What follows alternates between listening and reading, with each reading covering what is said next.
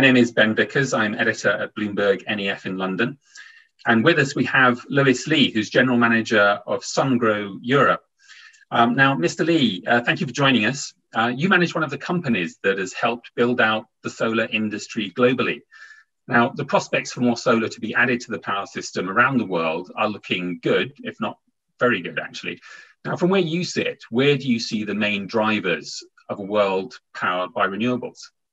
Well, addressing climate change and promoting energy transition to renewables matters a great deal to our future at planet Earth. Fortunately, the message has been uh, well received, and we are beginning to become a global consensus. As for Sungrow, you mentioned that we have uh, 23 years foothold in renewables. It's clear that the shift to renewables is not purely down to environmental factors, but also because the technology and financial viability of that technology is able to support the shift to renewables, which I shall explain in more details in a moment. Historically, one of the biggest drawbacks of renewable energy was the uh, generation cost plus the uh, intermittency and the volatility of energy production. However, things have moved a long way.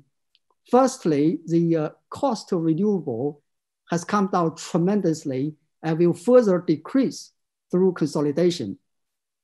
This trend provides lower LCOE, lead us to reach a point at which renewable energy is becoming cheaper at burning, that burning fossil fuels. In many countries, that this crossover has already been occurred. Meanwhile, traditional energy is becoming more expensive. As more solar and wind get added to energy market, fossil fuel is being pushed to the margin, driving up their per unit cost even further. Yeah. Mm. Secondly, advanced technology reduces risk and increases energy security. By their nature, we mentioned that renewables are far more intermittent and volatile than fossil fuels. However, thanks to advanced technology like energy storage and intelligent energy network, mm. operators can control the flow of energy, increasing balance, and better manage loads and demands on the network. This in turn help to manage risk by predicting and preventing system failures. All of this mean that renewables is becoming a major viable energy source. Yeah, so there are various factors in there. You mentioned LCOE, so the cost, the levelized cost of energy, and also technological developments that ensure security of supply, for example. That's really interesting. Now, project financing, of course, is really, really important for the solar industry. Um, your company seems to be in quite a strong position, or very strong position in this regard. Sungrow has been ranked 100% bankable by Bloomberg for a second year in a row. Now, question about strategy there. You're in a good position, but the renewables industry has long been subject to rapid change and requires companies to keep adapting. Now, what are you focusing on to ensure that your business model is solid for the next 10 years or so? Well, as you mentioned, project financing is vital for solar industry. At Sungrow, we really apportions much of this owner to be awarded 100% bankable by Bloomberg for two consecutive years. We fulfill our mission of clear power for all while maintaining sustainable growth and development. In terms of how Sungrow are focusing to ensure our long-term in the sector, firstly, Sungrow will continue to invest heavily in R&D and keep innovating we have the uh, industry's largest R&D. This provides Sungrow with a cutting edge product portfolio to meet the global diversified demands from residential C&I and utility market. Mid to long-term product and technical roadmap planning is another key factor to ensure our uh, substantial success. Currently, the world is still uh, dominated by 15,000 volt and 1,000 volt modules. However, we are now researching 2,000 volt, 3,000 volt applications. Secondly, talent and the human resources is the foundation of technical innovation. We have robust uh, long-term relations, uh, cooperations with key institutes and universities, which makes Sungrow a hub for talent and intellectual growth. Third, globalization and localization. We started our uh, overseas business in 2006, and now more than 20 overseas subsidiaries has been established with over 110 service outlets, which offers customer responsive and professional comprehensive sales, technical support, and after sales services. Meanwhile, having a localized structure help us to understand market requirements and our customer better, which could in turn enable us to develop the right product and solutions for each market. Interesting. Interesting how important a localized structure is um, for understanding the market and the market's requirements. Now, turning to the technology, maybe more more specifics. You did mention higher voltage units and so on, and some of the R and D you're doing, which is obviously another one of those aspects that's allowing you to adapt to future changes. But is there is there any new technology that's going to be included in the next generation of inverters that can help boost system performance? Uh, absolutely. For different market at different application scenarios, the uh, requirement technologies varies.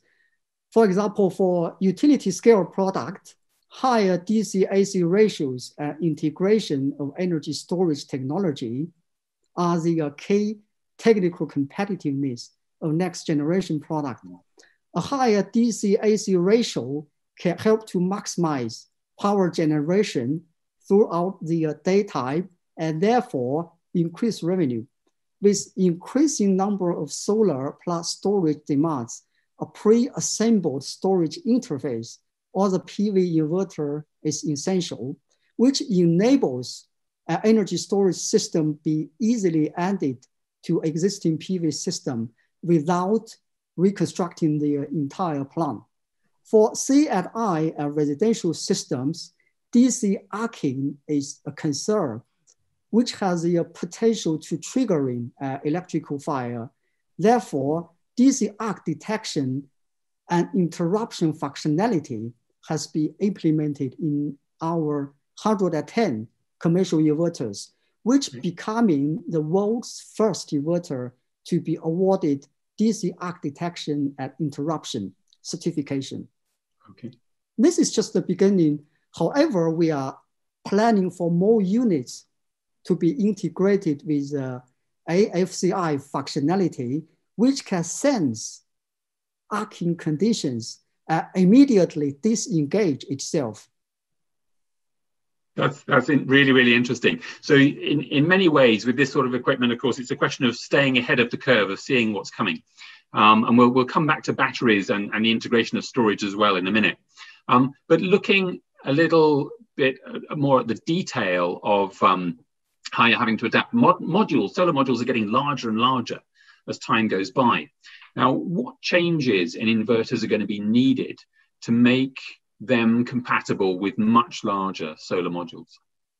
Well, the larger solar module will lead to some changes in the uh, DC input design of the mm-hmm. inverter right. and may also bring to a further increase in the DC-AC ratio of the uh, PV station. Currently, there are two different technical roads in large PV panel in terms of the uh, short circuit current. One is below 15 ampere and the other is around 18.5 ampere. Right. Sungrow inverter solutions are designed to be compatible with both type of uh, technologies due to reasonable selection of DC fuse. The current DC fuse in our DC combiner box is up to 20 ampere. A DC fuse in inverter is up to 15 to uh, 500 ampere. Our central inverter have been designed to match high power modules already. And our string inverter, which also be uh, upgraded next year to match high power PV modules. Exactly. So you're moving moving with the market, as it were, in that sense. Okay, now storage, turning to batteries. Um, energy storage that sits alongside solar, wind um, generation are a feature of the moment, really. Um, there are more and more of them being installed. Now, are new inverters being designed for systems of integrated PV and storage? And will the new system structure um, be bring any technical challenges for the manufacturing that you have? Yeah, sure. Actually, uh, our current made products already meet the requirements for energy storage system, such as uh, outdoor PCAs for AC coupling system, outdoor DC-DC converters for DC coupling systems, and PV inverters with pre-assembled energy storage interfaces. Compared with the AC coupling system, the DC coupling system and PV system are more deeply integrated.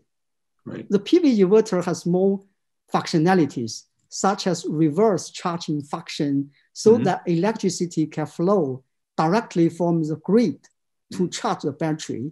Meanwhile, in order to meet different power grid requirements and policies, the DC coupling system can complete more complex operations quickly, meaning that our system can operate nearly every grid in the world, whatever the requirements.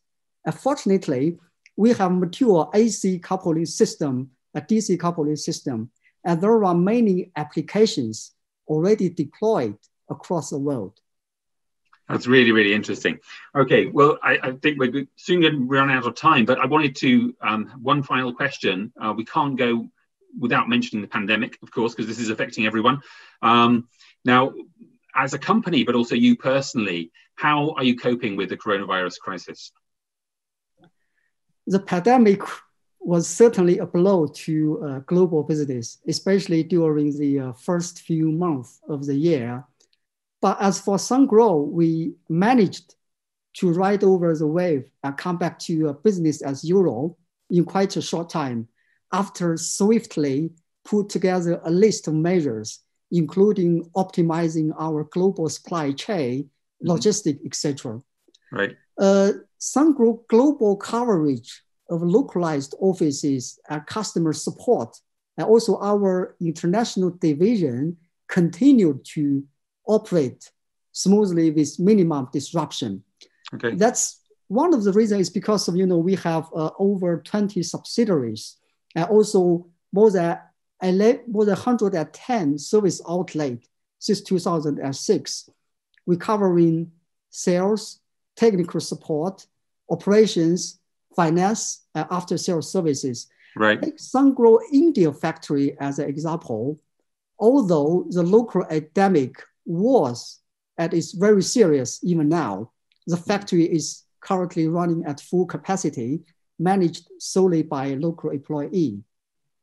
To keep our customer up to date and informed, we implemented some creative concepts such as cloud factory visit, virtual intersolar, cloud signing ceremony, online workshops, and more. Right. As for me personally, as we mentioned, keep alert, keep positive, keep calm. I'm sure that together we will tide over the uh, difficulties very soon. Yes, yes, we'll we'll all get through this. Um, it's it's incredible how adaptable we we've had to become quickly, but companies companies have reacted and the markets have reacted as well. But it's good to hear there's the the things are in many ways um, easy easy to manage in a way, and and having such a localized business, I'm I'm, I'm sure helps as well. Um, that's been really, really interesting. I wish we had a lot more time to talk because there's obviously lots of interesting topics here. It will have to be another time though. So thank you, um, Mr. Lewis. Thank you very much, Leslie, for your time. And we'll talk to you again very soon, I hope. Thank you. Yeah, thank you.